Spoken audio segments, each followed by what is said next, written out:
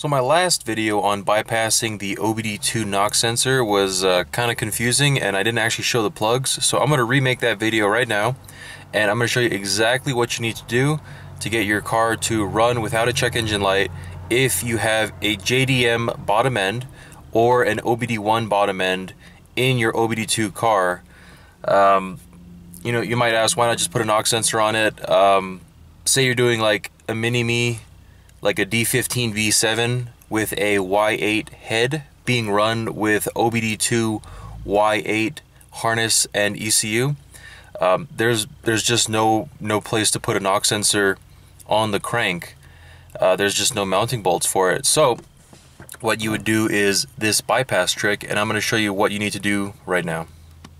So you get get in your Civic or Integra or CRV or whatever OBD2 vehicle you're doing this on, and you're, you're going to have to find your ECU.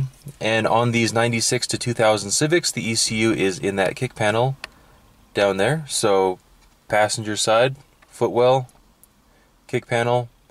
Take off that uh, that little fastener there. And I think there might be one more kind of up there. Uh, you pull the panel back, and then you look for one of these blue plugs.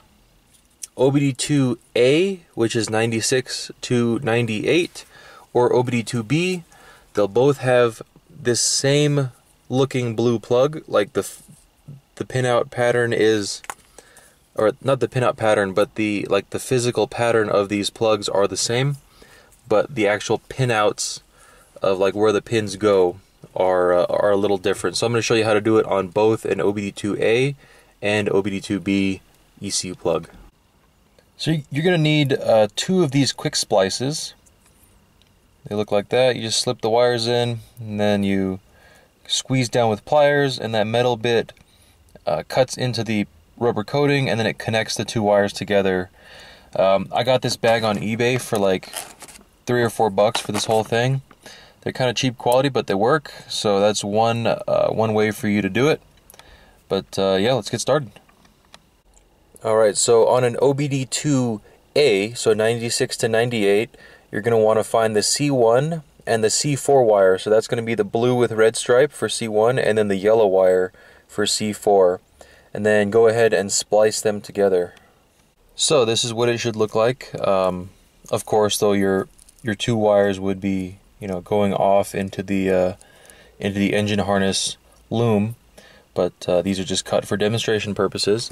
So what you want to do is you want to cut the C1 wire after the quick splice. So I believe the C1 wire goes to the original knock sensor on the crankshaft, which we're not using.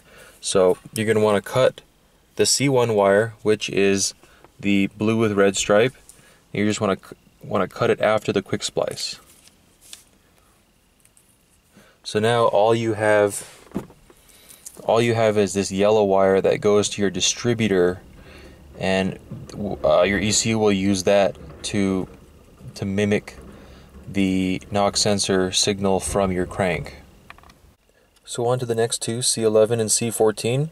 Uh, interestingly enough, this picture seems to indicate C14 is a white wire, but on mine, C14 is a black wire so C11 will be directly under C1, and then C14 will be directly under C4. So it's the yellow wire and then that, that black one there. But I don't think the color really matters. We're just going off wire position. So that is the C14 position.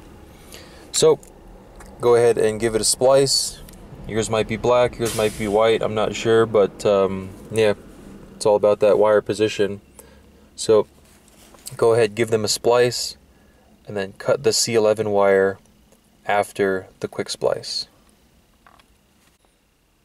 So here's what it looks like. The two of them spliced together, and then the C11, which is your farthest left wire, spliced after, or cut after the splice. So you, you want your 11 and you want your 1 cut. Your 4 and your 14 go to your distributor, and that's where your ECU is going to get your crank fluctuation sensor signal to piggyback off of. So, I know these are cut, this is just an example, but your 4 and 14 continue on to the distributor or to your engine wiring harness. Uh, so yeah, that's OBD2A, so 96 to 98, and I'm going to show you OBD2B, 99 to 2000, and I believe 2001 for Integras. Um, I'm going to show you that right now. So for OBD2B, you want to find the C22 and the C29 wire. So it looks like the uh, the blue with red and the yellow. And go ahead and splice them together. So here we go, blue, red, and yellow spliced together. And you're going to want to cut your C22 wire after the quick splice, which is the blue-red. So it's the blue-red, just like we did on the OBD2A. So cut that after the quick splice, and of course this yellow one continues on into the engine harness.